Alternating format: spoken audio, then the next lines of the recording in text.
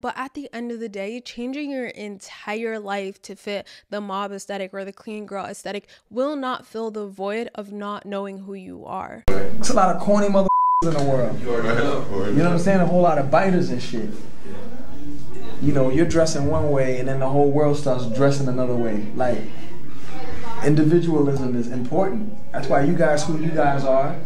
That's why, you know, Kanye West is who he is and Timbaland is the way he is, and Dr. Dre is the way he is, is because cool is something you can't you can't teach no nobody. That's something you just born with. Hello, my loves. Welcome to or welcome back to my channel. My name is Bahja. If this is your first time seeing my face, then hey, welcome to the channel. And if you've been here before, like always, it is an honor and a pleasure to have you here with me. In a world of social media, aesthetics, trends, influencers, it girls, it seems like we're facing an individuality crisis, especially with the influence that TikTok and the chokehold that it has on all of us. It feels like we're hopping from one trend to the next, one product to the next. And I can't even keep up. There's so many aesthetics. And it's starting to feel like we're chasing these aesthetics and chasing these trends to try to find our identity. And if you've been on this channel for a while, you know that this channel is all about stepping into your fullest potential. And so you can't really do that if you're not being true to who you are. And so I really felt the need to make this video. I was like literally itching to make it. In my newsletter this week, this was actually the topic that I chose to write about. And you guys really resonated with it. There was really good feedback. And so I was like, like, let me sit down and make this a video. And so today we're gonna really discuss how to find our identity and be confident in it in a world of trends and aesthetics and it girls and influencers. We're going to talk about the reality of having a sense of self and not having a sense of self. And then, of course, at the end, I'm going to give you some steps to finding your identity and then daily habits that will help you navigate through life being your truest self. It's so easy to just find yourself mindlessly scrolling, especially on TikTok. We are consuming ideas and products and opinions. And if we don't take the moment to really reflect on it and come back into ourselves, it is so easy to adopt those those concepts and those ideas and those opinions as our own beliefs. And then our identities become shaped by the things and the people that we see on social media. And that can lead us to feeling lost and unfulfilled because we're not being true to our authentic selves. Don't get me wrong, I love a good aesthetic. I love trends sometimes. I feel like they can be fun. I love the idea of being able to share your interests, your opinions, your thoughts, your ideas with the world. And I think it's so beautiful to be able to take inspiration from from things and from other people and from trends. But it really becomes a problem when we lack a sense of self and we try to find that within those aesthetics and those trends and those products. So, why does identity matter so much? I talk about identity so much on this channel. That's because the experiences that you have, the skills you decide to learn, the decisions that you make, the things that you attract comes from who you are. In this life, you do not get what you want. Okay, you don't get what you want no matter how badly you want it. You get what you are. And so when you're constantly trying to imitate others or mimic others or or when you're going from one trend to the next, you are coming from a place of lack. And so when you're in this place of lack, you will experience more lack. And what we don't realize is our individuality, our uniqueness and our authenticity is the most magnetic, most attractive energy. Individuality is where your potential lies. But being authentic really isn't the easiest path to take because it really hurts more when you are your authentic self and you put yourself out there and you're rejected for it. It hurts so much more when you're judged for just simply being who you truly are. Like I said, I'm all for inspiration, okay? I love a good inspo. I live on Pinterest. I love Pinterest. I have so many Pinterest boards. But being inspired as someone who has a sense of self, who knows that who they are, is seeing an aesthetic, is seeing a trend, and then defining that for yourself. Rather than rebranding your entire life and yourself to be and look like Hailey Bieber because you feel like Hailey Bieber is an it girl. Hailey Bieber is like Hailey Hailey Bieber is seen as a fashion icon. And so, in order to be that, in order to be like, in order to be aspirational, I have to be exactly like Hailey Bieber. And really, what you're telling yourself is, I don't really like myself. I don't feel good enough. I don't feel cool enough. And so, in order to be that, I have to be Hailey Bieber. But the reality is, what makes It Girls so powerful is their ability to be unapologetically themselves, is to not be afraid to try new things and to step outside of the box, to step outside of what everyone else is doing. Having the exact same body care routine as Leah from Love Island isn't going to give you the energy that she exudes. It's not about the things that they have, it's their energy that really draws us in. And that comes from being real. Forcing yourself to fit in aesthetic or forcing yourself to pretend like you like things that you don't truly enjoy is so lame. And I'm not joking when I say I've seen girls force themselves to drink matcha even though they don't like matcha because it's trendy or because all the it girls are doing it. And when you're doing something that isn't truly aligned with you, you look uncomfortable. And that energy of those beliefs that you have about yourself that's causing you to act like something you're not, that energy is what you're giving off. And people can sense that. You would be so much more attractive if you're in a room of matcha drinkers and you still choose to get your coffee. You know what I mean? And it's not about being pick me and saying, oh, I'm so different, I'm so quirky, because even that is coming from a place of lack. It's looking for validation, it's coming from negative beliefs that you hold about yourself. And so it's being true to yourself and not faking being something you're not. I don't know why I'm using matcha as an example. I love a matcha. Y'all know I have like four a day. but being in a room of matcha drinkers, looking around, seeing that everybody's drinking matcha matcha, you want to drink matcha too because you don't want to feel, you know, you don't want to feel left out. You don't want to be rejected. And that's normal. We have this natural need to want to fit in. But then that leaves us feeling miserable. And so the first step to really take is admitting that to yourself. I fear rejection. I do. I feel rejection, and that's why I'm pretending to like matcha when I actually don't. And what happens to a lot of us when we choose to ignore our fear of rejection, or we never admit it to ourselves, or we don't even realize it, and we're not conscious of it, is we are stuck and trapped in this cycle of overconsumption, hopping from one trend to the next, one product to the next. And you know what? Brands are eating that up. Million, billion dollar companies are being built and created off of our insecurities and this sheep mentality of trying to fit in and trying to be like everyone else. And TikTok is very good at bringing your insecurities to the surface creating insecurities in us that never existed. Just like you guys remember that little the little flip screen thing, what is it like inverted camera where you see how people see you and it made a lot of people insecure it made people realize how disproportionate their faces are. And it's crazy because no one really realizes that. Nobody notices that. But social media and TikTok is really good at making us aware of things that we were never aware of. And it's so sad because even things like our bodies, right, have been turned into trends. I've seen this video of, I don't even know who the woman was, but she was talking about how BBLs aren't in anymore. And she wants to like undo her BBL because now natural bodies are in my mind is actually blown. My mind is actually blown at what social media has brainwashed people into thinking. And not to sound so, oh, there's this evil person who is trying to manipulate us and the world is so evil. But do you know how easy it is to manipulate people who have no sense of self? Not just to buy a product, but in general. Do you know how easy it is to convince people that they need something in order for them to be accepted, in order for them to be cool, in order for them to be seen as an it girl? But at the end of the day, changing your entire life to fit the mob aesthetic or the clean girl aesthetic will not fill the void of not knowing who you are. Your true power lies in your authenticity, in your individuality. And that is not found through imitating others and mimicking others, but it's found by listening to yourself, by honoring and respecting your opinions and your values and your beliefs and your likes and your dislikes. Your identity and your personality is found and created and nurtured through self discovery. All right, let's talk a little bit about how your identity is created because when you know how your identity is created and you kind of have that understanding, then you can be more mindful and more conscious so that you're not allowing social media and just mindlessness build and shape your identity. So, our identity and our self concept is deeply rooted within our subconscious mind, which stores our experiences and forms beliefs, and that ultimately shapes our worldview. It shapes the lens in which we view the world. From when we're babies, our minds are constantly storing and absorbing information that create our identity and our paradigm, and then we use that to interpret interpret everything around us. Everything is perspective.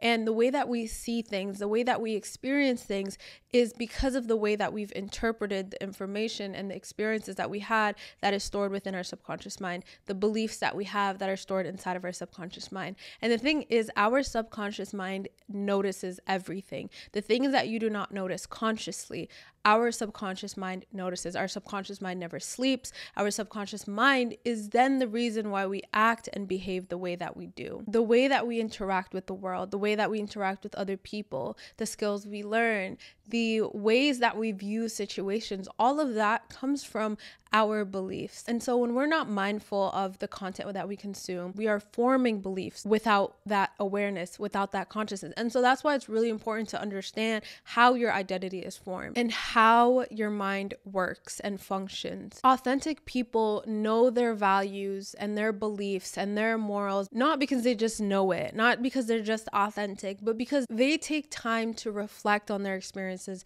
They take time to sit down and say, This is what I value. This is who I am. And then they stand strong on that. They have these guiding principles. Almost just died. That was gross. I'm sorry. When you're in that place where you lack self knowledge, it puts you in danger because you're constantly being bombarded with the influence of social media, with the opinions of other people, with thoughts, and people on the internet say and do whatever the heck they please. And so when you're constantly consuming that, that can lead you to a feeling of lack, feeling like you don't know who you are, feeling unfulfilled, feeling confused with the direction that you would like to go in life. But the T is, the T is you are the aesthetic. Okay, you are the aesthetic. You are that girl. You just don't know it yet. Y'all know that sound that's like, I don't need an aesthetic. I am the aesthetic. I don't have to find an aesthetic. I am an aesthetic. I mean, I'm sure there's somebody out here right now who's going into Pinterest trying to type up all these adjectives to describe me yeah, that is how you should be feeling about yourself. And honestly, this might ruffle some feathers, but the truth is, when you're constantly going from one trend to another, pretending like you like things that you don't like, you're forcing matcha down your throat. The truth is, you might really not like yourself. The truth is, you might not really like yourself. And that comes from never valuing your opinions. Really, that's what it is. You don't value your own opinions, you don't value your likes and your dislikes. And the moment you start to do that, you start start valuing those things, those things start to become important to you. Those things become what guides you through life. You're going to be you're going to be that girl. You're going to be that girl. You don't have to try to be unique. There's no such thing as trying to be unique. You don't have to try to be cool, cool, but you just be. You are all unique. You are all cool. You just haven't been expressing it. And you've been suppressing it by trying to force yourself into the box of aesthetic. And like I said, expressing yourself puts you in a, vul- a vulnerable state because when you express yourself and then you're rejected for it, that shit hurts. That hurts a lot more than faking it. That hurts a lot more than putting on this mask, pretending to be someone you're not, and then getting rejected for it. Because regardless of whether you're yourself or not, regardless of whether you are dressed exactly like Hailey Bieber or not, people still won't like you. People still won't accept accept you. People will still judge you. But the biggest L you can take, the price that you have to pay becomes your potential. You will never get to witness who you could have possibly been and the impact that you could have made on the world and the people around you. And you know what? That hurts more. That hurts more than a rejection. It really does. When you see something that you feel attracted to, something that you feel inspired by, ask yourself, why do you feel inspired by this? Why do you feel attracted to this? What is it about this thing? Let's say there's this new trend. If you like it and it sparks some curiosity within you, then go for it and try it. Try the matcha.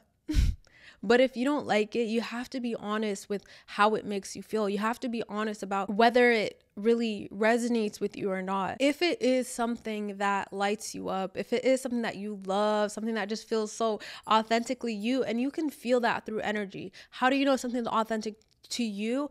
Energy, if it fills you up and you're excited about it and you love it, and sometimes something is true to you and you might not enjoy aspects of it or you might not enjoy it some days, by pursuing it, you're still standing on your own values. But if something just like genuinely lights you up, keep doing that. Keep doing it. Keep keep wearing that balloon skirt or bubble skirt keep drinking the matcha. You've discovered something that fills your soul. And the thing about being unique is the thing about being authentic is you don't have to know exactly, exactly, exactly who you are now. You don't have to know what makes you unique now. The whole point of life is having new experiences so that you could discover different parts of yourself, so that you could discover parts of yourself that you never knew existed. It's meeting people that bring out different parts of you that you never knew existed. So you can't just sit down one day and figure out exactly who you are and all of the things that make you unique, all the things that make you cool, but it's moving through life with honesty. It's being honest about how things make you feel. It's being honest about the energy that you feel around someone. It's being honest and then valuing that, saying this is more important to me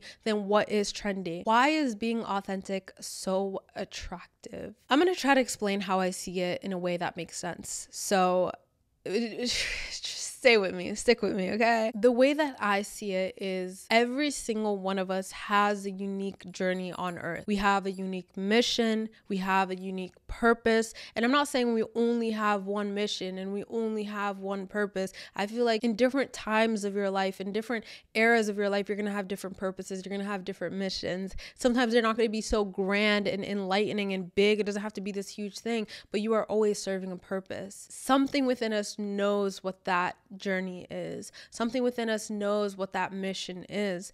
And in order for us to fulfill our purpose and to fulfill our mission, we have to move through life with intention, with mindfulness, and with honesty because then you're making decisions from a place of authenticity. And when you do that, you're in alignment with your purpose and you're in alignment with your mission, whatever it may be. And I really do think that God has something beautiful for every single one of us. Our potentials are so great. And when we move with honesty and mindfulness, then we can experience it. When you are in alignment, everything feels like it's falling into place for you. Also, when you are being honest, that helps other people feel connected to you. That energy of honesty, that energy of being authentic people feel a little bit more drawn to you. People feel that energy and they're like, oh. So not only is it attractive in a way where people are drawn to you, but then it's also attractive in a way where the opportunities, the tools, the people that will help you really step into your fullest potential, that will help and allow you to fulfill your purpose and fulfill your mission will also come to you. Everything will feel like it's falling into place. When you're honest about what you need now, what you currently need, what you value, your likes and your dislikes, rather than what the internet tells you you need and you should be doing and who you should be, then you are going to be able to live in alignment. And really, with my goal and my own personal mission with social media and my YouTube channel is to make you realize that your presence here on earth means something and it is valuable. I feel like a lot of times we can downplay our importance in this world. The world seems so big, there seems to be so many people, but your presence and your impact matters. And so, in order for you to really fulfill that, to wake up to your potential, you need to stop being so distracted. And yes, trends and aesthetics and it girls and social media and influencers, all these things can be distractions. They can be very helpful for discovering more about yourself, but that's only with the right mindset. If you don't have that mindset, if you're not self aware, if you don't have self knowledge, if you're not mindful and you're not intentional, it can be a distraction. It can make you live a life that you don't necessarily like because these things are distracting you of your greatest power, which is your authenticity. Do you know how much beauty you can add into this world if you are honest with yourself?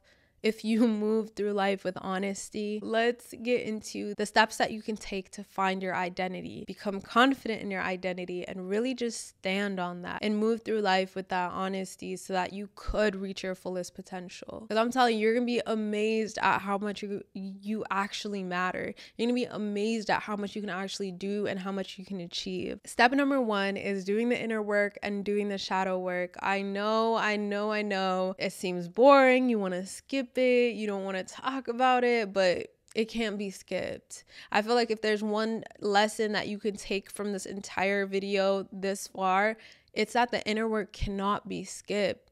It's that coming back to yourself and doing the reflections cannot be skipped. And so, what you can do is sit down, grab a notebook, grab your journal. If you have the Becoming Her Notion template, this stuff is already in there. It's already in there. You can just fill it out if you haven't. If you already have, then come on you're killing it. The first thing you want to do is become aware and become conscious of your self concept. What are the things that you believe about yourself? How do you talk to yourself? What are your values? What do you value? Why do you do the things you do? Even the smallest, most mundane things, why do you do the things you do? If you don't have a solid why, if it's not because of a goal that you've consciously set for yourself, it is because of the influence of other people, whether it was your parents, whether it was your teacher in the third grade, or social media. And so when you ask yourself why, why am I actually doing these things?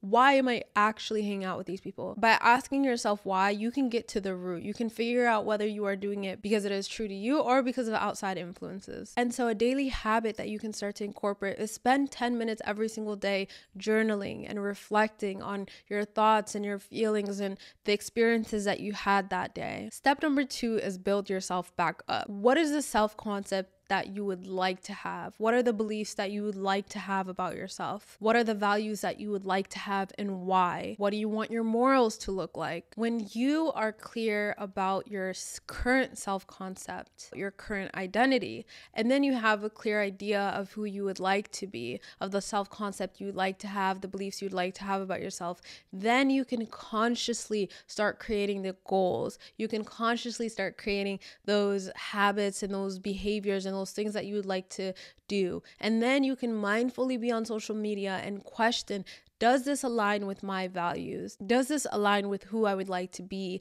and the goals that I have set for myself? And then you can remove those behaviors that are not in alignment with you. And you can say no to the trends and the aesthetics and the things and the people that are not in alignment with you. And that is what authenticity is about is saying no to everything that is not in alignment with you regardless of what people think. And so a daily habit that you can have is set a small goal every day, a habit, a routine that will help you become that version of yourself. If you have the Notion template, it walks you through that entire process. So you guys should definitely check it out. Not because I made it.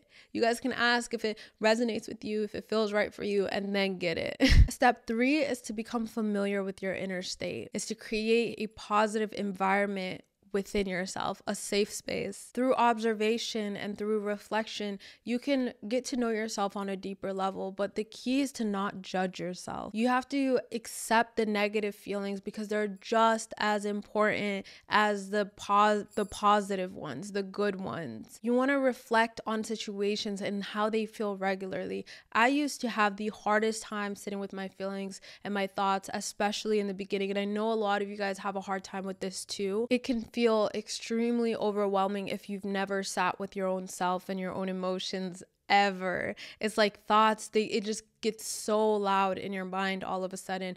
But the more that you sit in that and you sit in that, it'll just quiet down. Practice positive affirmations. Talk to yourself kindly. I made a promise to myself that I would never judge myself, even if the entire world is against me and hates me and is judging me, that I would never judge myself, that I would be honest with myself. Yes, I will acknowledge the things that I've done wrong. Yes, I will acknowledge the way that I could have done things better. But sitting and judging, our minds will go straight to yeah, you said you were going to drink your coffee, but you ended up drinking the matcha because everyone else around you was drinking it. You're a loser. You'll never be able to be authentic. That is like where your mind goes first. You got to reframe those negative thoughts and you have to practice that. Having a positive mindset doesn't just come naturally, okay? It comes with practice. You have to practice reframing the negative thoughts. When you get rejected for for being who you are, you have to come back to yourself and affirm rejection is just redirection. Remember that. That is how you create positive beliefs. It is through the repetition of those affirmations,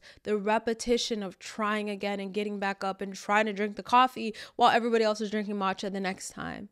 It's not going to be easy, but it's what it takes. A daily habit that you can practice is daily affirmations as often as you need throughout the day. As often as you need. I remember needing to come back to my journal and write out my thoughts and feelings so many times a day, especially when I was going through it in the beginning. Turn the beliefs that you would like to have about yourself into affirmations. So if you would like to believe that you are a smart gal, right? You probably have a belief about yourself that you're dumb because your third grade teacher told you you were dumb, but now you want to create this new self concept and you want to believe that you are smart. Create a personal affirmation for yourself I'm smart. And anytime someone makes you feel dumb or you feel embarrassed or you feel stupid, and your brain tries to keep you in that old self concept, in that old mindset, and it tries to reaffirm that you are dumb, you got to reframe it and say, I am a smart gal. I'm smart. I'm smart.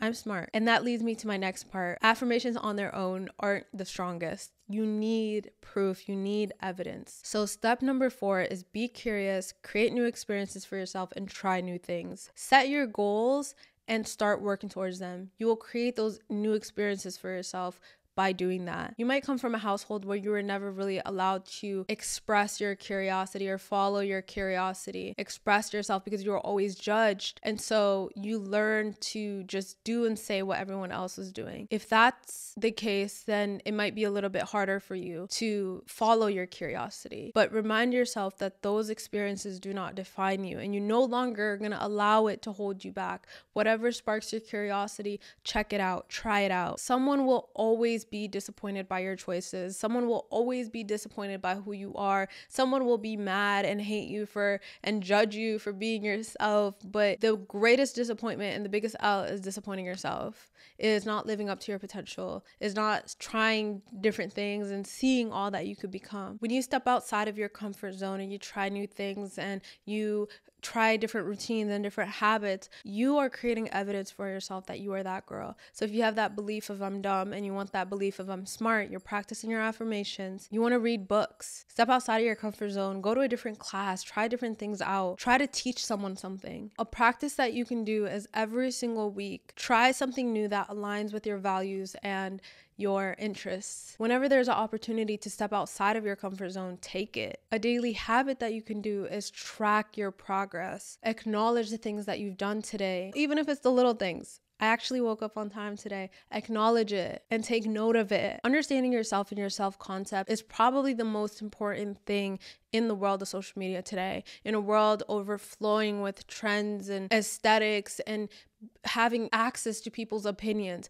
When you watch my videos, I want you to ask yourself, does this align with my values? I don't want you to just take everything I say and run with it. I want you to ask yourself, does this align with my values? Does this align with my goals? Does this align with where I want to go? If it doesn't, keep it pushing. If it does and it resonates with you, then take that and ask, what about this resonates with me? How can I implement this in my own life, in my own way? By reflecting on your experiences, your values, and your beliefs, you can live a life that is authentic to you, that is true true to you. Do not let the outside noise dictate who you are. Do not let it tell you who you are. Do not let it steal your potential away from you. You really have to stay true to yourself and let your inner light guide you. That is all that I have for you guys today. Thank you so much for watching this video. If you found it beneficial, share it with a friend, leave a comment down below. I love you all so much and I hope to see you next time.